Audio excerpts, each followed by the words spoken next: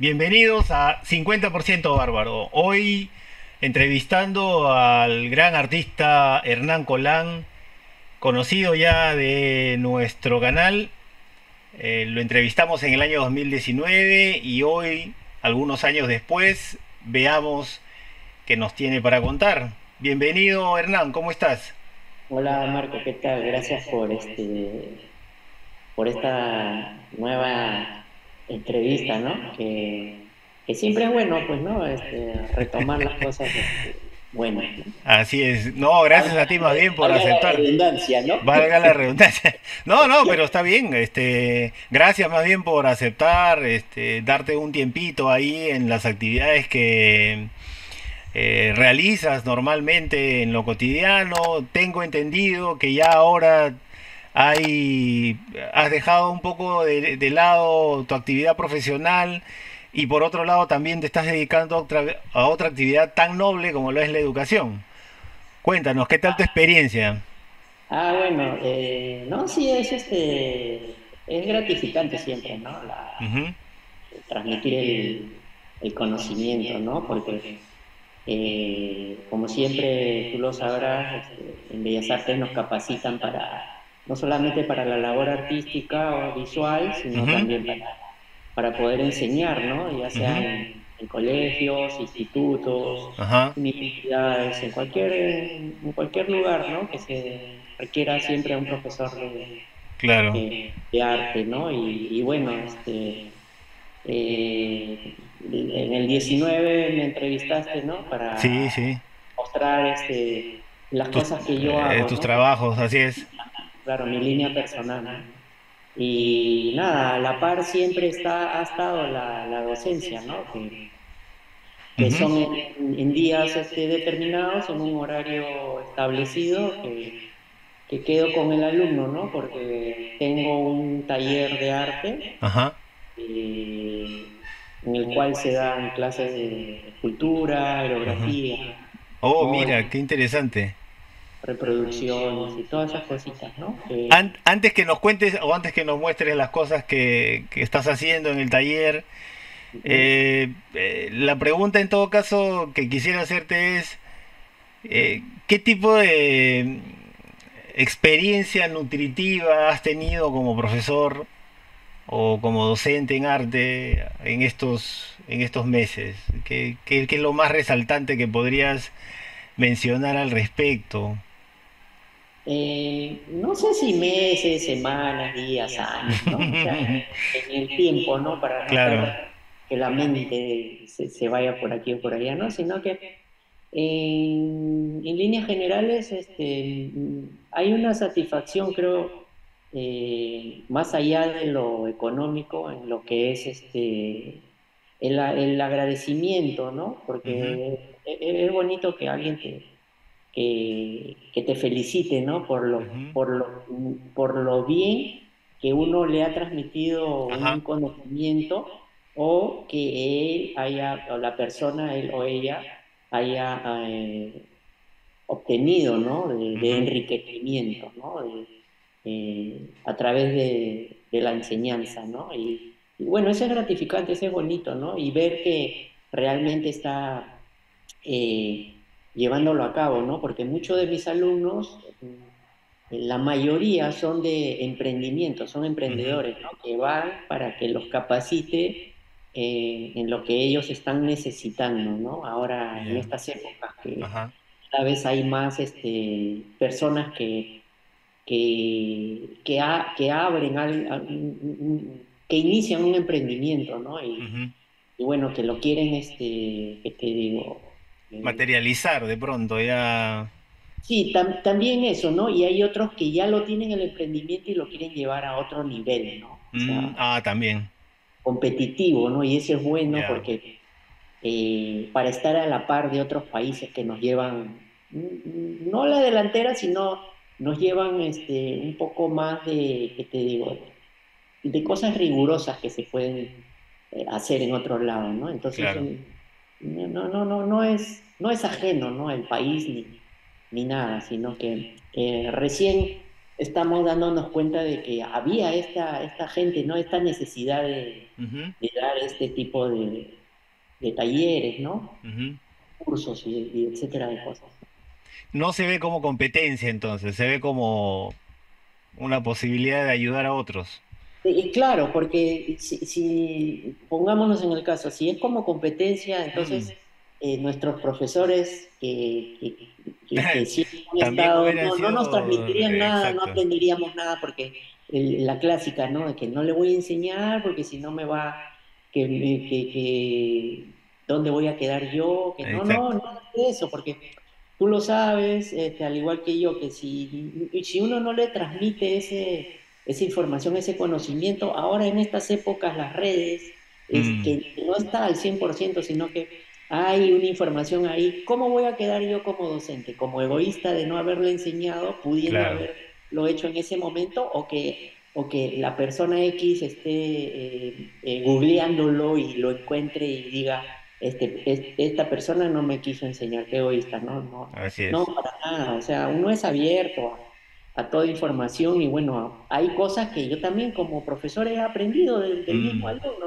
que yo no lo sé al 100%, pero tengo cosas para transmitir, ¿no? Y, bueno, es, este, es, la transparencia, ¿no? O sea, ¿para qué negar algo que uno sabe o para qué asumir algo que no lo sabe? No, lo contrario, ¿no? No, claro, además ahora ya con este tema de las redes sociales, de la internet, ya en realidad no se puede ocultar nada, todo está por ahí, como que haces, te, te tienes que dedicar un ratito nada más a hacer algunas búsquedas y sale, o sea, por ahí como que el tip del tip, el, el, el, el, recurso caleta, y siempre hay alguien que lo ha subido, ya lo subió, ya, o sea... Sí, no, y aparte este, eh, el Internet es la nueva biblioteca, pues no, no nueva, sino es una, es una biblioteca. Una eh, nueva forma de... Y encuentran, ¿no? Y en tiempo real, bueno.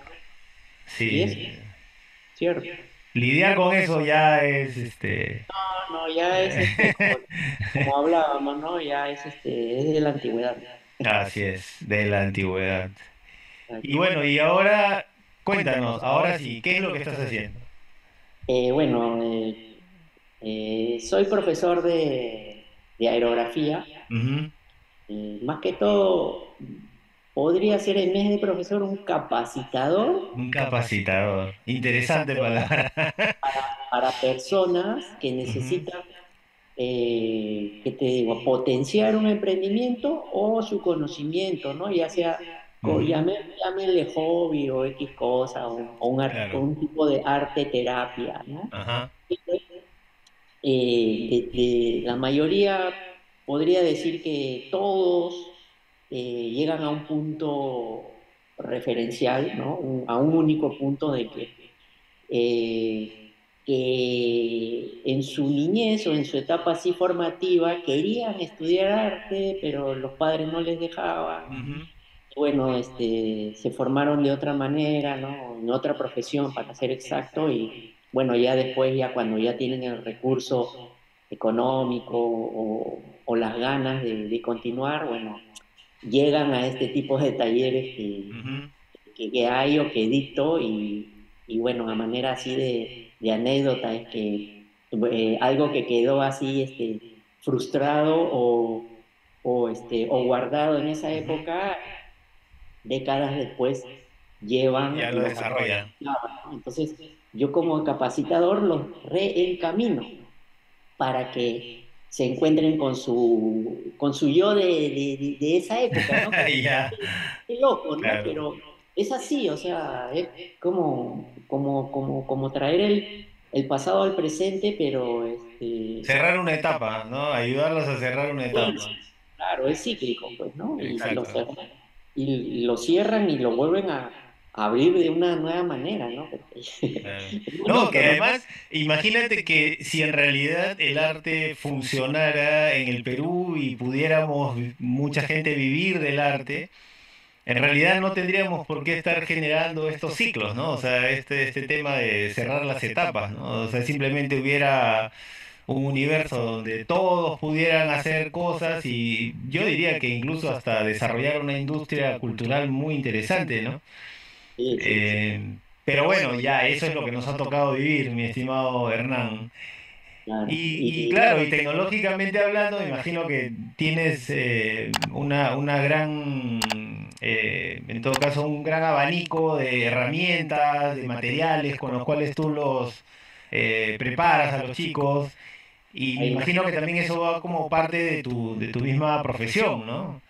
Exacto, porque eh, a mí siempre desde chico me ha gustado desarmar, armar cosas y bueno, en- Ujú, vendríamos a hacer este, los, los propios artilugios que uno arma, que Claro. uno, uno crea, ¿no? Mejor dicho, ¿no? Eh, Uno no eh, puede sacarle la vuelta en el tema de los materiales o en el tema de los insumos para el trabajo que haces normalmente en aerografía o ya existe esa, ya sí, existe ese para, universo. claro, para terminar la, la, la idea, ¿no? O sea, Ajá, de chico me gustó armar, desarmar cosas, crear, ¿no? O sea, y de ahí siempre me ha encantado la tecnología. Entonces, la tecnología hay desde tiempos ancestrales, ¿no? Entonces, eh, eh, en estos, en, es- en estas épocas eh, ya hay nuevas maneras de, de desarrollar algo, ¿no? Una idea, llevarla al dibujo, del dibujo al papel, el- el- que diga el- la idea al papel, ¿no?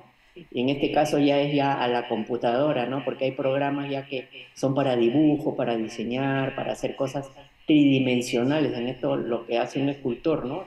El escultor este, tradicional ahora ya es cultura digital. Entonces es, es este, no es lo mismo, pero es, es, es un acercamiento, ¿no? Es lo que la tecnología en estas épocas nos, nos da, ¿no? Y hay que aprovecharlas. Y en esto de la, de las clases de aerografía, eh, vemos eso porque se utiliza y utilizamos las impresoras 3D. Uno dirá, ¿qué es eso, no? Es así como hay las impresoras que tú metes el papel y te sale claro, eh, lo que uno está queriendo.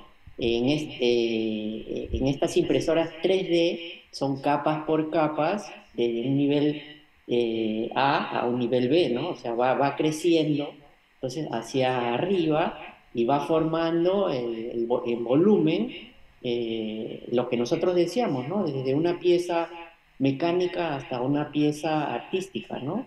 Eh, con, con ciertos parámetros. Y bueno, no, no, no, no quiero abundar en eso, pero es algo que me apasiona, me gusta y es bonito.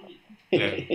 La tecnología, ¿no? Y, y nada, eh, ahora voy a, a, a- a mostrarle las cosas que, que hago, ¿no? Ahorita estamos en una reunión desde mi casa, en el taller de mi casa, ¿no?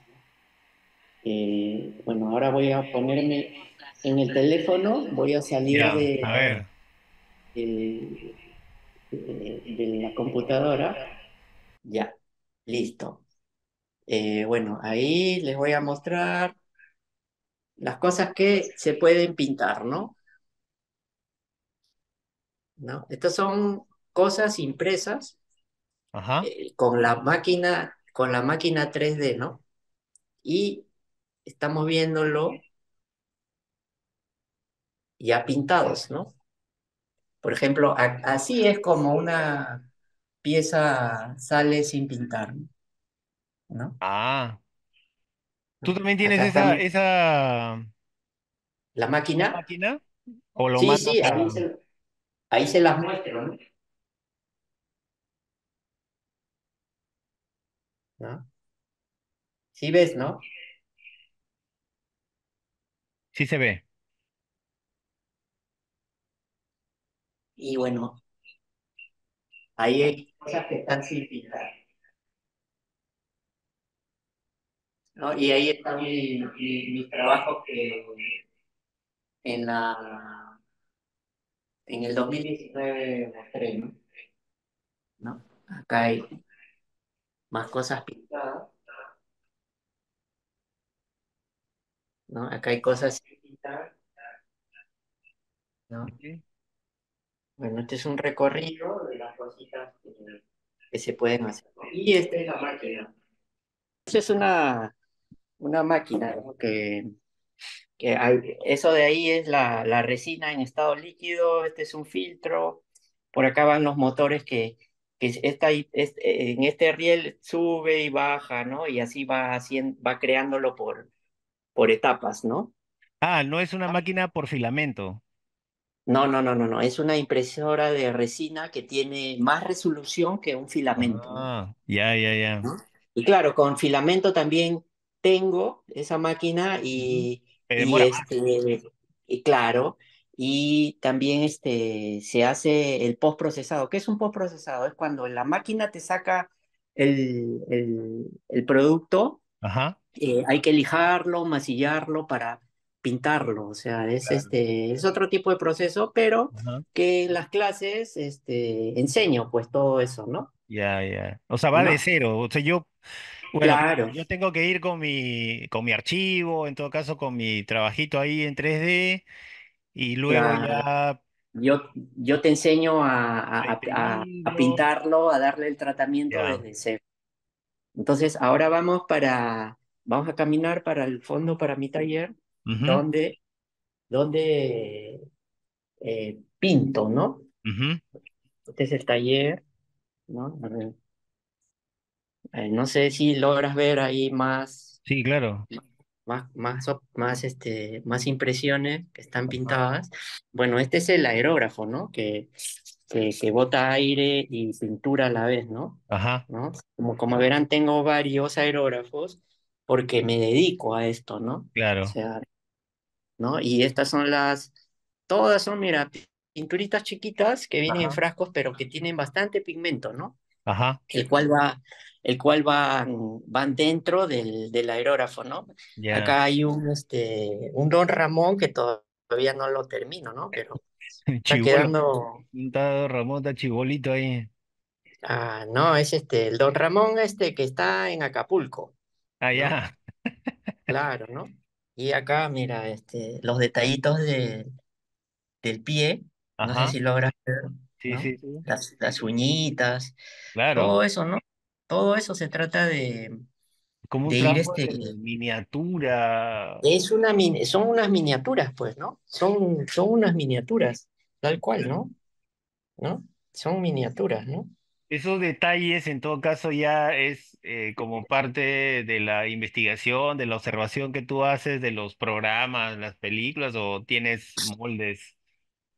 No, o sea, eh, esos archivos eh, en los grupos que existen en las redes, Ah, se, uno los comparte, ¿no? O Ajá, bien los compras claro. o los, este, o los, com- o, o los comparten, ¿no? Y bueno, este es otro tipo de aerógrafo, ¿no? Que para abajo es aire y para atrás es pintura, ¿no? Entonces, con eso este, comenzamos a, a pintar todos los, este, todos los diseños, ¿no? Wow, sí, ¿No? sí.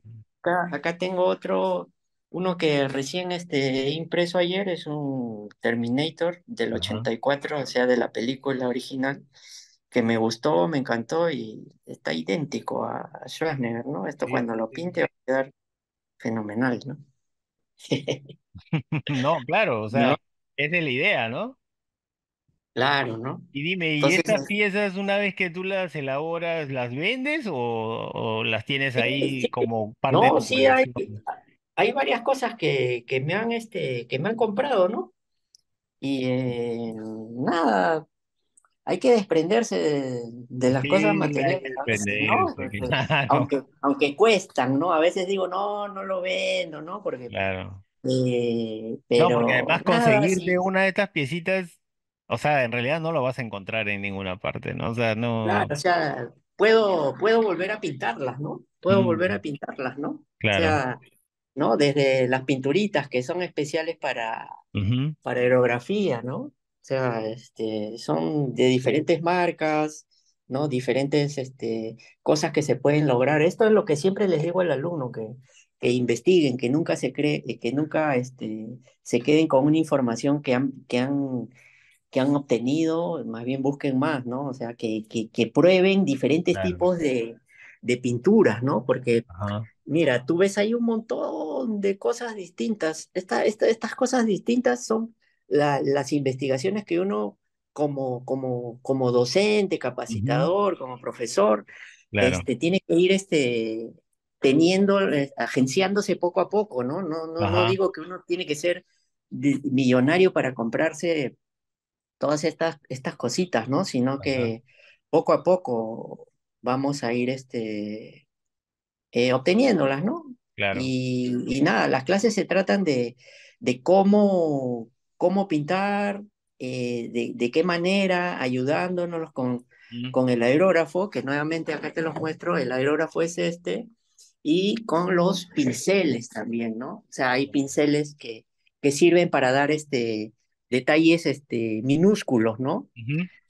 Eh, por ejemplo, con estos pinceles del, este, finitos, ¿no? Con estos bien finos, la punta, eh, vamos a ir dando detalles, qué sé yo, al ojo, ¿no? Donde sí entra este, esta cosa delgada, ¿no? Y bueno, darle los, los matices, ¿no? Los todo tipo de matices, este, ¿no? las combinaciones de colores, Dime, ¿y son, son caros los, archivos estos? Eh, o, sea, mejor dicho, ¿es cara, es caro el archivo que tú te descargas del personaje que tú quieres? ¿Es caro pintar? ¿Es caro la impresión en 3D? Mm. No, no, no es, no es caro. O sea, eh, eh, hay de todo, de todo precio, ¿no?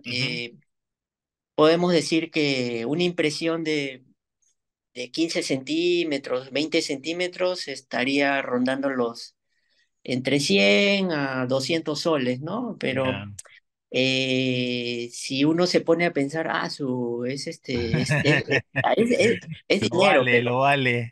Pero, pero, a, eso que, a lo que voy, o sea, puedes tú invertir eso porque, ah, y si lo pintas bonito, mm. alguien te lo va a comprar y tú lo puedes vender a más, entonces es, es parte de, de una inversión, ¿no? Entonces... Eh, no, es un gasto, es una inversión. Exacto, no, no, de repente estoy exagerando en precios, pero puede ser algo, algo más, más económico, pero no nos vayamos por lo que me cuesta menos para ganar más, sino que para ganar hay que, hay que, hay que invertir. Pues, debe tener, además debe tener no solamente la inversión eh, económica que uno le va a brindar, en todo caso a los materiales, a los insumos, etcétera, sino que hay una inversión también de conocimiento, hay una inversión de tiempo, hay una inversión incluso hasta en el concepto mismo de calidad, ¿no? O sea, qué calidad es la que yo quiero producir. Y bueno, y si es para mí, bueno, tendría que tener un estándar bastante alto. Y si es para vender, más alto todavía. Claro, ¿no? Por ejemplo, mira, estas pinturas que vemos acá arriba, estas de acá las llegué a comprar aquí en Perú, ¿no? Estas de acá las traje de afuera, ¿no? Estas de acá también. Y muchas de las pinturas las traigo de afuera porque una que ah, si la compro acá me va a costar un ojo de la cara y otra que no hay a veces, ¿no? Claro. Entonces, siempre les digo, si tienen la posibilidad de traerse algo de afuera, tráiganlo, ¿no? O sea, si, si no, junten y poco a poco van trayendo una pinturita, otra cosita, porque eh, si es parte del emprendimiento, entonces un emprendedor tiene que, que, que ir este, de menos a más y ir agenciándose cosas porque no es porque que uno les obligue, sino que porque su mismo negocio va, va a ir para arriba. Entonces tienen que ir este, teniendo cosas novedosas. Y ojos, yo tengo muchos alumnos que se dedican a la, a la impresión y al, y al pintado y yo siempre les digo, ustedes no son los únicos, ustedes tienen varios competidores, varias competencias, así que claro, van a tener varios precios y si tú te si tú pones un precio bajo, va a haber otro que va a tener un, otro tipo de precio más alto, pero cada quien va a ir a dónde se va, ¿no? Calidad o, o, a lo barato, ¿no? Entonces, siempre les digo, ¿no? Que hagan sus pruebas, eh, acá, no, acá, no, funciona el se parece. No, no. Eso no es el punto. Claro, o sea, mira, ese piecito, mira. Este, este trabajo no es de un día, dos días, es, es, de, es de varios días y hasta semanas. A veces, a veces me canso de pintar, o sea, la, la vista se cansa, entonces retomo otro, ¿no? Por ejemplo, este está recién con los primeros toques de colores básicos, ¿no? Pero eh, acá ya tenemos terminado, ¿no? A veces agarro dos o tres y pinto a la vez, ¿no? Y, Claro. y, y nada, ¿no? O sea, este, me gusta, me gusta pintar, me gusta enseñar, ¿no? Y, y nada, lo hago con, con cariño siempre, ¿no? Con pasión que nos caracteriza, ¿no? A los, claro. a nosotros, ¿no? No, Hernán, de ¿No? verdad que tu trabajo, Bueno, ¿no? sí, sí, muy bueno, ¿no? Y Yo, yo ¿No? diría que ahí hay una gran diferencia entre lo que vimos en el año 2019, que definitivamente es bueno, o sea, yo te comenté que en todo caso el tema de los articulables, eh, incluso hasta de los autómatas o de los personajes que has ido trabajando a lo largo de tu trayectoria artística, algunos podrían, eh, digamos, contraponer lo que estás haciendo como que es más comercial. Pero yo diría que en todo caso es, eh, no, no es lo mismo, pero sí es parte del proceso. Y Claro, estoy seguro que hay una tercera etapa, o sea, yo estoy seguro que va a haber un, en la próxima entrevista que te haga, te apuesto que vas a hacer cosas totalmente distintas, fusionándolas o no sé cómo va, va este tema, pero, pero eso es lo interesante, ¿no? De, de ir viendo en el tiempo cómo vamos creciendo. Y lo que yo veo de tu trabajo, que además que ya que esto ya lo has venido trabajando con anterioridad, Sí, sí, años ya. muy alta calidad. Eh, de verdad que, de verdad que sí. Este, Eh, eh, Gracias. voy a, voy a quedar, queda pendiente en todo caso una visita a tu taller. Eh, de repente, no sé, algún día te voy a ir a visitar a, al centro, ¿no? O, o- Claro, o claro. a Caraballo, porque Bueno, también estás en Caraballo. sí, sí, sí, mi casa, mi casa es este, mi taller es de, de toda la vida, ¿no? Acá, acá hago cosas y acá, inclusive acá también he recibido alumnos de que viven por la periferia, ¿no? Del cono norte, Claro. ¿no? Y nada, les digo que, que aquí tengo todos los implementos Ajá. Y en el centro también tengo todos los implementos, ¿no? Y bueno, hay Igual. alumnos que llevan su propio aerógrafo, su propia máquina, ¿no? O sus propias pinturas. Entonces yo les Ajá. digo, tráiganlos para compararlas con las que yo tengo, así este, así te enseño a pintar con tus pinturas, con tu Ajá. máquina y ya te vas, te vas contento a, a seguir en tu casa, ¿no? Y, Ajá. y nada, o sea, este, es, es bonito, ¿no? Es bonito sí, todo esto, sí. ¿no? De la aerografía, ¿no? La pintura, ¿no? Tanto con pincel o con, con el, con el aerógrafo, ¿no? Ajá. ¿No? Genial, mi estimado Hernán. Te agradezco muchísimo por tu tiempo. Y ahora, antes que se corte la grabación de, de la aplicación, eh, me gustaría en todo caso retomar una frase que no sé si te acuerdas que le hicimos en el año 2019. ¿A qué, se- claro. eh, a qué se resiste ahora, ¿no? ¿A qué se resiste ahora nuestro amigo Hernán Colán? Bueno, a- a- acorde con lo que a uno le gusta, bueno, me Ajá, resisto a dejar, a dejar de enseñar, pues, ¿no? O de, de, de- quiero seguir enseñando, ¿no? Hasta, hasta que me lo permita, ¿no? Porque claro. eh, no somos eternos, pues, ¿no? No, no somos eternos. No, definitivamente Y, y no. nada, ¿no?